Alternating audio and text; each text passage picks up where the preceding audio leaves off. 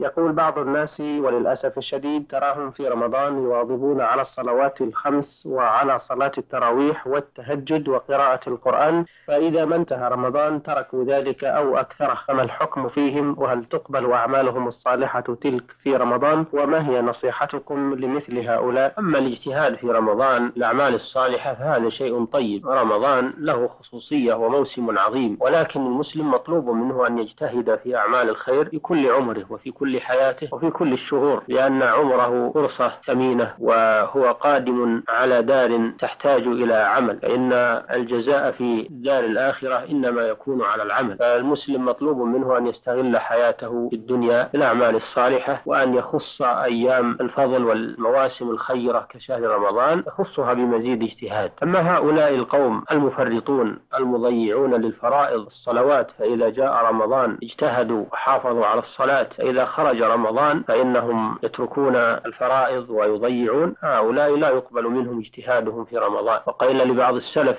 إن قوما يجتهدون في رمضان فإذا خرج آه، تركوا العمل فقال بئس القوم لا يعرفون الله إلا في رمضان. فهؤلاء لا يقبل منهم إذا تركوا الفرائض وتركوا الصلوات الخمس. أما إذا كان تركوا شيء من السنن ومن النوافل فهؤلاء لا حرج عليهم ونرجى لهم القبول فيما أسلفوا في رمضان. الله تعالى أحسن الله delle